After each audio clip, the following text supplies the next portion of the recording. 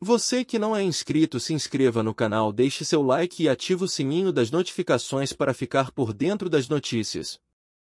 O irmão do príncipe apontou o que classificou como o outro lado e detalhou como era a situação da família quando o brother vivia com os pais.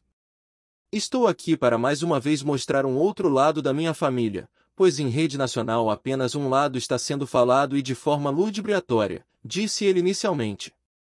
Morava em um bom apartamento, tinha carro, comida, gasolina, telefone, internet bancados por nossa família, então logicamente não foi expulso, afirmou Philip. Fred namorava médica e queria ter a mesma profissão.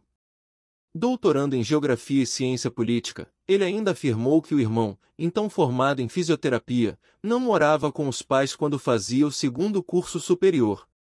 Ele, quando decidiu fazer medicina, já era formado em fisioterapia, dava aula em uma faculdade na nossa cidade, trabalhava em regulações e em hospitais, afirmou. Segundo Philip, Fred Nicásio pediu conselhos a ele sobre os rumos profissionais. Veio conversar primeiramente comigo sobre a vontade de fazer medicina, perguntou se eu ajudaria e pediu para conversar com a família sobre o assunto a fim de corroborar neste sonho, destacou. Philip contou ainda que, na época, Fred namorava uma amiga da família que era médica já formada, sonhavam em ter uma vida juntos e ele queria exercer a mesma profissão.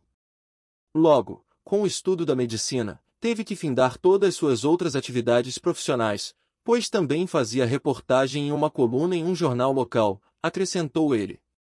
Orientação sexual Philip ressaltou que jamais deixou de amparar o irmão por causa da orientação sexual, mas sim por assuntos que ele sabe, que por educação e respeito ainda não explorei. Devido a comentários, tivemos uma conversa em família de forma amigável, e ele nunca se assumiu.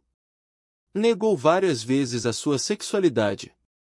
Isso não porque iríamos condená-lo, mas para entender os comentários de terceiros que estavam acontecendo. O que você achou do comentário do irmão de Fred Nicásio? Deixe aí embaixo nos comentários e até o próximo vídeo.